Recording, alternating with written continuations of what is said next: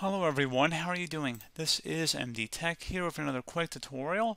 In today's tutorial, I'm going to show you guys how to resolve if the Microsoft or Windows Store is not working properly on Windows 10 and you need to reset it. So this should be a pretty straightforward process here guys, and without further ado, let's go ahead and jump right into it. So all you have to do is open up the search magnifying glass down in your system taskbar, and you want to go search up WS Reset. Best match should come back with WS Reset. Go ahead and right click on that and select Run as Administrator. And give it a moment here.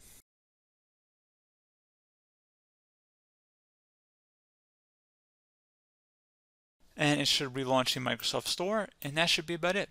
So, as always, thank you guys for watching this brief tutorial. Do hope I was able to help you out, and I do look forward to catching you all in the next tutorial. Goodbye.